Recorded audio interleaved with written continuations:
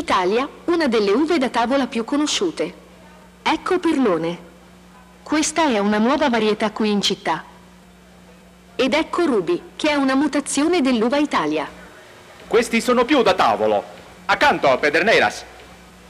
Qui per esempio a... Ai ai ai ai ai!